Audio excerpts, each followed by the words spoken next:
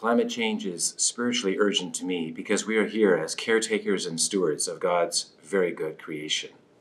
On this Earth Day, I hope that generations to come, seven generations and more, can enjoy God's creation, which He made very good. For the love of all creation.